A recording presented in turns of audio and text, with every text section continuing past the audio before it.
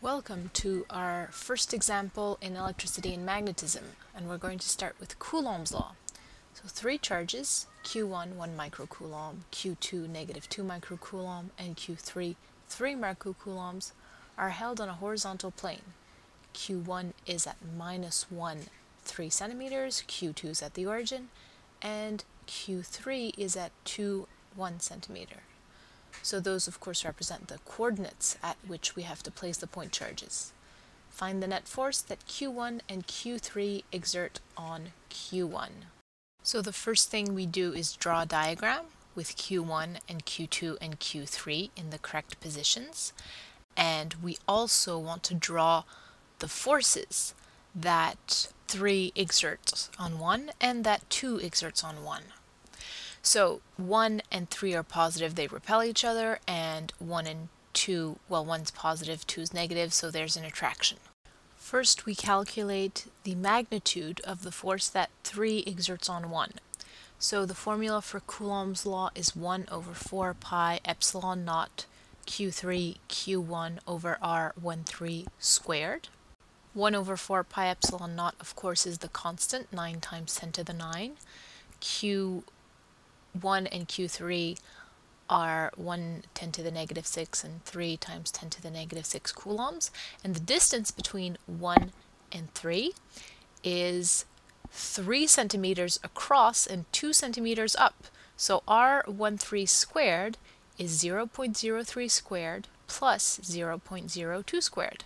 So the magnitude of our first vector is 20.8 newtons.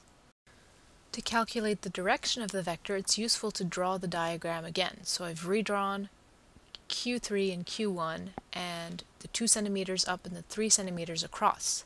The direction of the force that 3 exerts on 1 is going to be the angle theta that I've tried to draw in bold. So that's going to be 90 degrees plus the angle phi that's on the diagram. And the way we get phi is with the inverse tangent of 0.03 over 0.02. So remember, opposite side over adjacent side. That angle is 146.3 degrees. The next thing we are going to do is calculate the magnitude of the force that Q2 exerts on Q1 and I just want you to notice that from Q2 to Q1 it's 3 centimeters up and 1 across. So the magnitude of the force that 2 exerts on 1 is 1 over 4 pi epsilon naught Q2 Q1 over R12 squared. That's 9 times 10 to the 9 multiplied by 1 microcoulomb multiplied by 2 microcoulombs and divided by 0.01 squared plus 0.03 squared. And that is a force of 18 newtons. You might be worried that I didn't take into account the signs of the charges when I calculated the forces. Well, remember, I just calculated the magnitude of the forces, and I did take the signs of the charges into account when I drew my picture. And the signs of the charges are going to have a great effect on the direction of the force which is our next step. To find the direction of the force that 2 exerts on 1, I'm going to do exactly the same thing. I'm going to draw the force on 1, pointing towards 2, and that force is going to be a negative angle if I start from the positive x-axis. The opposite side is going to be 0, 0, 3, and the adjacent side is going to be 0 0.01. So I just take the inverse tan and get my angle of negative 71.6 degrees.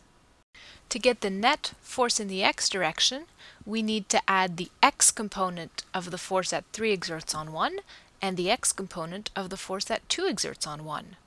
So 20.8 cos 146.3, that's our first x component, and add our other x component, 18 cos of negative 71.6. So the net x component of the force is negative 11.6 newtons.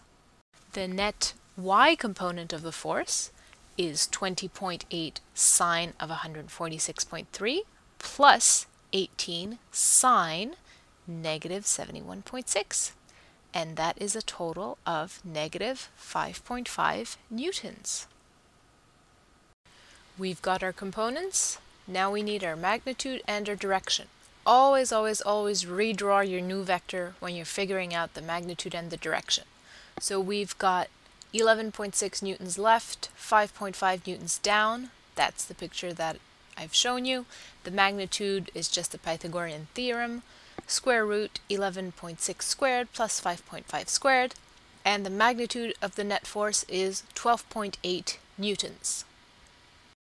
Since it's in the third quadrant, the direction will be 180 degrees plus the inverse tan of 5.5, which is our opposite side, over 11.6, which is the adjacent side. And that's a total of 205 degrees. And that's the answer, 12.8 newtons at 205 degrees. And here's the legal stuff. Feel free to share and remix the joy of physics with us.